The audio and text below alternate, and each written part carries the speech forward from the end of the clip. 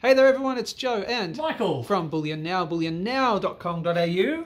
Selling you the best bullion bars and coins, shipped to you worldwide from Melbourne in Australia.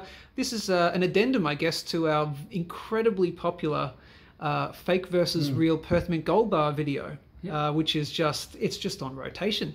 On- we're going to attach a link here or here or Uh, that one on the that one. Yep, right. The, the first one, right there. So, what are we talking about? We're talking about uh, another way to tell uh, fake versus real Perth Mint gold minted bars in particular. minted bars. So let's talk about it.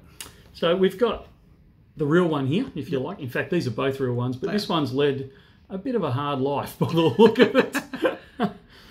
so one of the things that Joe and I talk about, and Joe keeps correcting me because I call them tamper proof, and they're not. They're actually tamper evident. Tamper evident, Um, Bars, and, and a lot of people like buying them in this presentation for that reason, Mm. in that you can tell if somebody has played around with the gold bar at all, whether they've tried to replace it with something, Mm. whether they've tried to, you know, scratch a little bit off it, so you're not actually getting the full, in this case, 20 grams, you might be getting 19.8 grams, or all those sorts of things. And people say, well, it's all well and good to say that, but how do I know that it's been tampered with?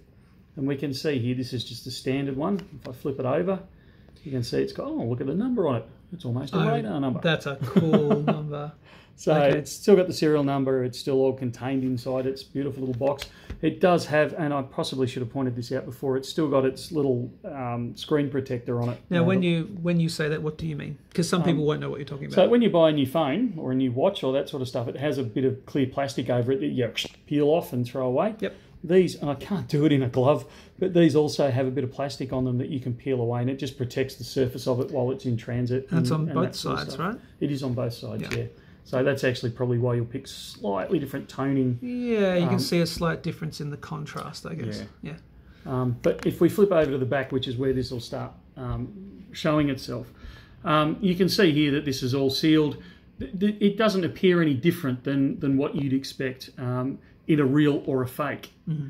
However, if you do what this uh, person did with this one, where they actually opened it up and at the end of the day they bought the bar, they can do whatever they like with it. do whatever they it's- want. It's theirs. Yeah. And it's actually been really good for us because I've been meaning to do this type of video for quite a while. Mm.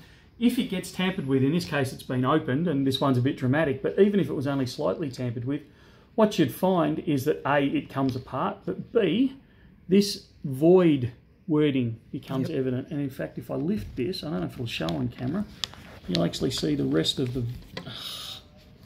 I don't think I can get it to do it, but Don't know if you need a glove this time, do you? Oh, I was just doing it just in case. um, so you'll actually see this this void word. Yep. It's actually imprinted in there. You just can't see it because of the black. Yep. Once it lifts off the black, it actually becomes evident. So even if there's very small damage to this packaging, it comes up as void. So you know that the product that you've got in front of you has been tampered with in some form.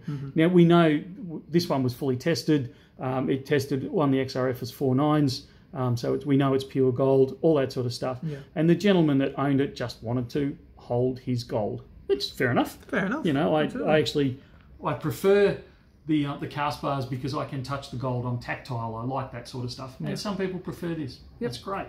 He's bought one of these and then he's opened it up. But it just goes to show, and what we really wanted to highlight here was the fact that with these tamper evident, you can really tell with the real ones. Yes. If you see one that's slightly damaged or open and it doesn't say void on it, the chances are you're dealing with a fake Absolutely. of some kind. Yeah. With a real one, you'd expect to see the fact that it's got void written on it. So the tamper side of it no longer counts, but you can be fairly sure that the bar inside is probably going to be real. It just may be scratched or tampered with in some way. Okay, fantastic. Well, All right. what else do they need to know? Anything else in, in particular? No, that's probably about it. All right. Well, of course, like, share, subscribe, all that good stuff. And uh, for more of this kind of, I guess we call it educational. Yeah. Why not? Educational videos. You've got to subscribe to the channel. Uh. YouTube.com slash Bullion Now. Hit the big red subscribe button. Join the family because we are the winning team. Apparently. That's it from me. and from me too. We'll see you soon. See ya.